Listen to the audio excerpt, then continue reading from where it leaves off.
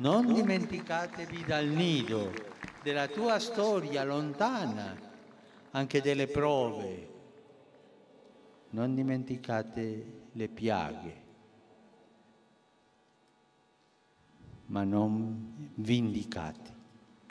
Andate avanti a volare sulla speranza di un futuro grande. L'aquila non dimentica il nido, ma vola alto. Eh. Volate alto, andate, andate su.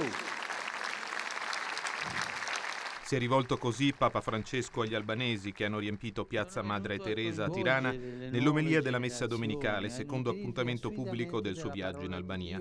Ha ricordato i martiri del recente passato, vittime di un sistema che negava Dio e impediva la libertà religiosa, escludendo Cristo e la Chiesa dalla storia del paese.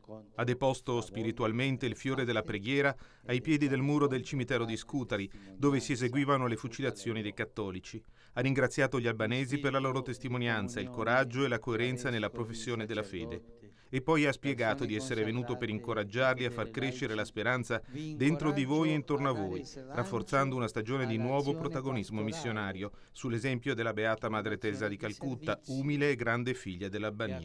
All'Angelus il Papa si è rivolto soprattutto ai giovani, invitandoli a dire no all'idolatria del denaro, no alla falsa libertà individualista, no alle dipendenze e alla violenza e a dire invece sì alla cultura dell'incontro e della solidarietà, sì alla vita spesa con animo grande ma fedele nelle piccole cose.